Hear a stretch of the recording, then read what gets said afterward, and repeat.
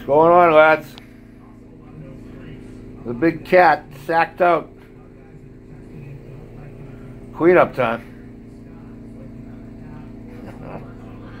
well, I got a little bit of progress here, boys. Not much, but a little. Thinking I'd thought I'd fill you in, see what's going on here at the at the desk. I'm working on my head. Everybody likes a little head. I got my uh, distributor and the wires. I got it all painted. I got to. Uh, I got some more detailing to do before I can get the wires in there. But I got all my holes drilled. Those are, everything's ready to go on that. Uh, engine. Finally got some color to stick to it. Uh, I did it. This, this is semi-gloss black. I got my pulleys on. Um, that wire is in there to keep the two holes open that I that I drilled out. I got uh, the oil um, filter goes on this side, and it has two oil lines. I don't know if you're aware of uh, a spinning oil filter. When I worked for the town, we had a couple of trucks that had those. It, it just the oil goes through it and it just spins it and all the debris and everything gets thrown to the side. And when you open it up, there's like a quarter inch of, of gunk all around everything. You got to scrape out and clean off, and there, it, there's no uh, there's no um, cartridge, filter cartridge in it. I think I think it was called a centrifugal filter, if I'm not mistaken. But uh, yeah, I got the side panel on side panel on over here, side panel on over here. Um, the back piece where I got the the um, toothpick in is the brake. That's a brake rotor for emergency brake. So I'm going to see if I can mark something up to make it look like to make it look like uh, one. I got a picture of it.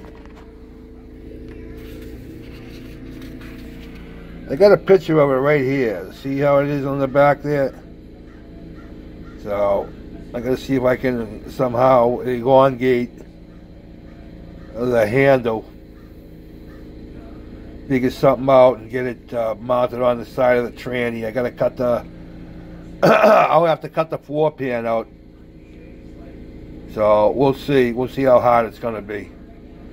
I'm just more concerned with that trying to cut this plastic. You know, it, it's so thick. So that's that's something I'm going to have a hard time with. About. And then um, did my uh, I sleeved my drive shaft. I sleeved it with a, a piece of uh, aluminum tubing. And then I am going to do the same to the uh, motor end. I got a little piece of tubing I got to cut for that, and then this this actually is made to slide in here. I don't know if I can get it in. Yep, there we go. That's made to slide in and out. This actually will slide in and out, so I can put my uh, rear end in before I paint the chassis. I'll tape off the uh, I'll, I'll take the uh, tubing off. And then uh, I can uh, put it on the chassis and paint it all as one unit instead of having to paint it and then put it on so. And then you can put the motor in too because I can put that end piece in anytime I want. There's enough room in there that I can put it in anytime I want so.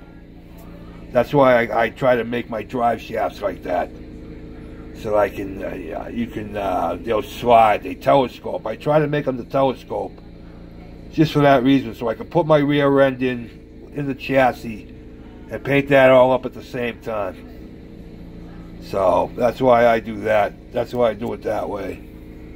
Um, I got my front end steering here. Again, I sleeve the tie rod with a, a piece of aluminum but uh, I got up these uh, ends here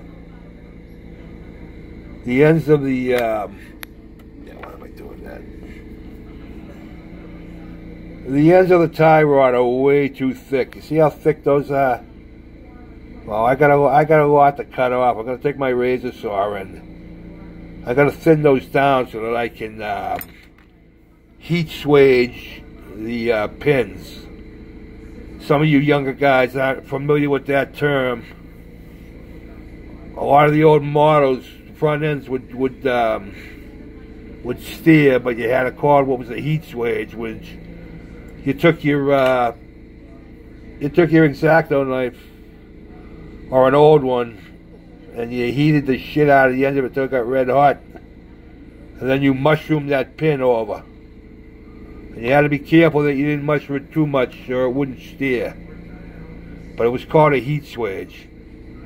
Well, that's what I got what it was referred to when I was back in the day with me. So, but I got that all, that's done. Um, I got a, I got my generator pulley on, and I went to put it in last night, but I, uh, see the green putty, I, I drilled the hole in the wrong place, and then I drilled the hole, I drilled the hole in the motor, and I had to, I had to uh, fill that, so, and I'm gonna have to, I had to, it's gonna be drilled up higher. I put it too low, like an idiot, and then I put the hole in the, I put the hole in the generator in the wrong place. But at least I got everything. The paint sticking. That's that's a good thing. I just I I gonna prime it. Gonna prime everything. I gotta prime everything. And then I'm. I just did this for shits and giggles. That's the Molotov, uh, Molotov, Molotov, whatever you want to call it, the chrome pen. But uh, I'm thinking of.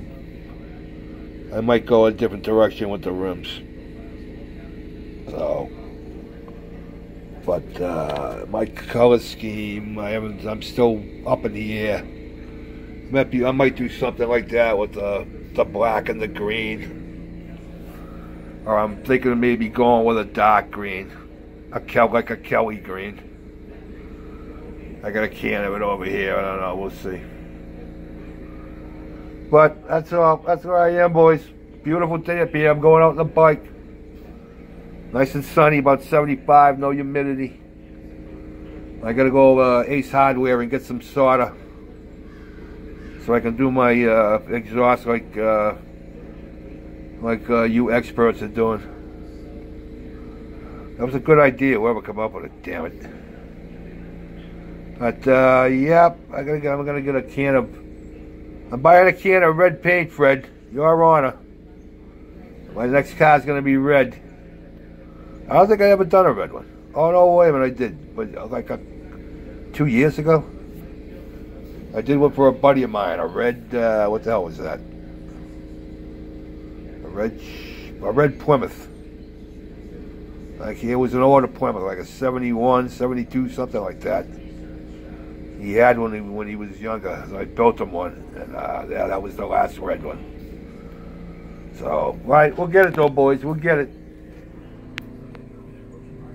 Look, see, nice and serene. Don't let that kid you. She chopped me good yesterday, the little shit. Made me bleed. I was patting her. She come over and I started patting her behind the ears, and the next thing I know, I got uh, I got claws and teeth. See, she got me right. Can you see that little thing right on my tooth on my skeleton? Yeah, she got me right there too. And did I bleed? Holy Christ, did I bleed.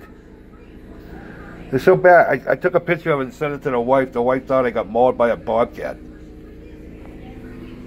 You little shit. Say goodbye, biscuits. Perfect timing. All right, boys. Enjoy your day, guys. Peace out.